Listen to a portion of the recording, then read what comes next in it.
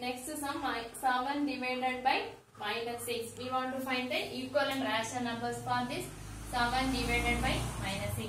Here the denominator having negative sign. Denominator negative sign. This first change. How will you change?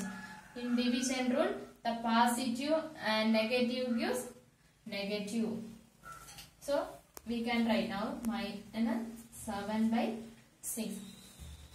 Now you can find the rational numbers. How will you find the equivalent rational numbers? Multiplying the numerator and denominator by multiplying the numerator and denominator by 2, 3, 4, 5. You get answer. Minus 7 by 6 into 2 by 2. Now 7 2s are 14. What is the sign? Here one is positive, another one is negative. So the product is negative. 7 2s are 14 by 12. Next. Which number here, Manjit? 3 by 3. Yeah. 7 3s are 21. Minus 21 by 3. Minus 7 by 6 into 4 by 4. 7 4s are 28.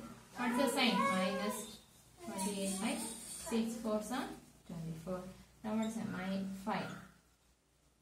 5 by 5. Min- Minus 7 into 5. Minus 35 by 30.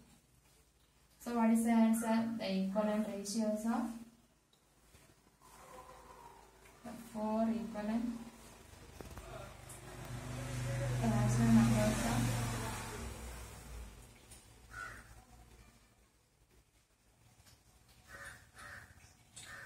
minus 14 by 12 minus 21